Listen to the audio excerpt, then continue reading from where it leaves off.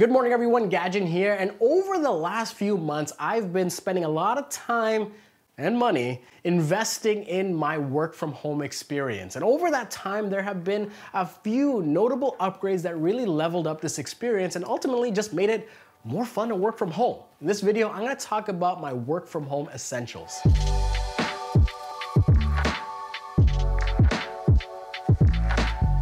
YouTube and Reddit are a great source of information when you're looking to deck out your office experience. And I came across a video from Patrick Tomasso, a local Canadian creator who just outlined some of the cool upgrades he made for his home office. And he gave me the idea for a VESA mount and using it in a unique way. You see, I have this thing mounted behind me and instead of sticking my monitor there, what I opted to do is use it as a base that I can throw my laptop on or my iPad on and add a magic arm. And this allows you to prop up a camera that you may already have and use it as a webcam for conferencing or even use it for live streaming.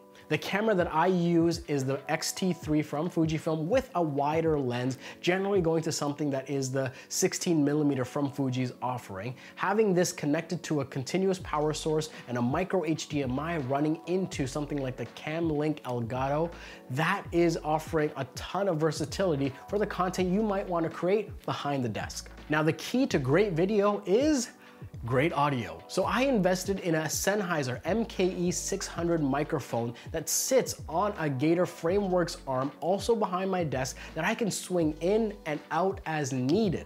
This allows me to capture fantastic audio, maybe record some voiceovers all from behind my desk in a cinch.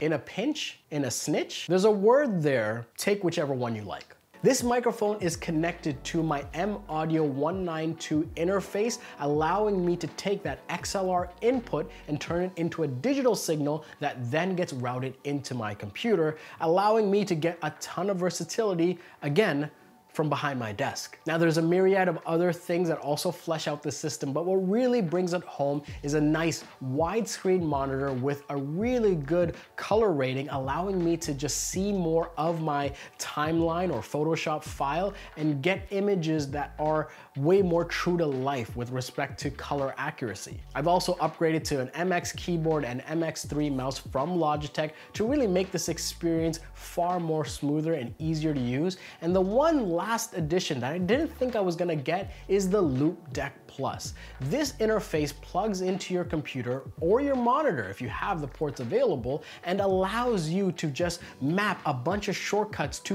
buttons and dials. So when I'm editing in Final Cut, I almost never have to touch the keyboard or mouse for my preliminary edits. I can quickly scan through my timeline, make cuts, add keyframes, tweak the color, all from the Loupedeck itself. It offers a ton of versatility. When it first came out, I thought it was a bit of a gimmick, but over the years, a team there has really fleshed out the firmware. There's been great third-party support, and ultimately, if you find yourself editing a lot of content in Lightroom, Photoshop, Final Cut, Premiere, this is something that can save you a lot of time and really get back to capturing. So for me, it was definitely worth the upgrade. And there you have it everyone, that is my list of work from home essentials. More importantly though, I'd love to hear what you have behind your table or in, in front of your table whatever it may be. Let me know what some of your essentials are and let's continue the conversation in the comments below. My name's Gajan, thank you so much for watching, and I'll see you next time.